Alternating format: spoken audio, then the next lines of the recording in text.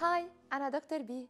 تابعوني دايما على مواقع التواصل الاجتماعي لدى سات سبعة لنحكي عن مواضيع صحية بتهمكن كلكن موضوعنا لليوم عن العادة السرية. ليش بتصير وهل هي صح أو غلط؟ خليكن معي. اليوم بيعرفوا المراهقون أكثر بكتير من ما كنا نعرف بالوقت. إن كان من وسائل التواصل الاجتماعي أو من منصات الفيديو أو الأحاديث اللي بتصير عبر الإنترنت مع الأصدقاء. المراهقة هي الانتقال من براءة الطفولة لاكتشاف عالم جديد بالكامل وبيبدأوا أطفالنا بتجربة جميع التغيرات اللي حكينا عنها بالحلقة الأولى. بالإضافة للانجذاب الجنسي اللي ببلشوا يشعروا فيه والطريقة اللي بدهم يعبروا عنه.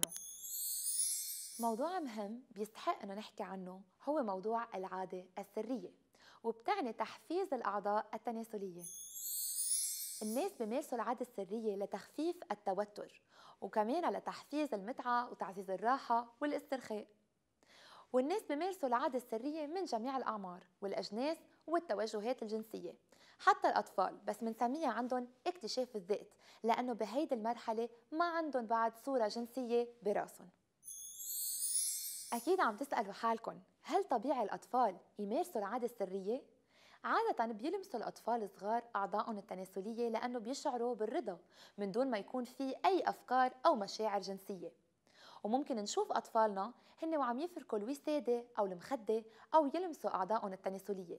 فهيدي منا ممارسة للعادة السرية بل هي طريقة بريئة كرمال هن يكتشفوا جسمهم ويكتشفوا حالهم بمرحلة المراهقة كتير طبيعي يبلشوا المراهقون يشعروا برغبات جنسية بهذا العمر. وكتير مهم كأهل نناقش هالمواضيع مع أطفالنا قبل ما تأسرهم الإنترنت وتدمر الصورة المثالية اللي خلقها الله لممارسة الجنس. خلينا نحكي شوي شو بيصير أثناء ممارسة العادة السرية.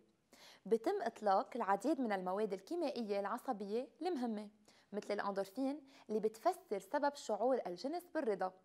الأندورفين كمان بتساعد على تخفيف الألم فهي بتشتغل مثل المورفين. بيرتفع هرمون الفازوبريسين وهو بنعس وبيساعد على النوم مثل الأكسيتوسين المعروف تقليديا باسم هرمون الترابط.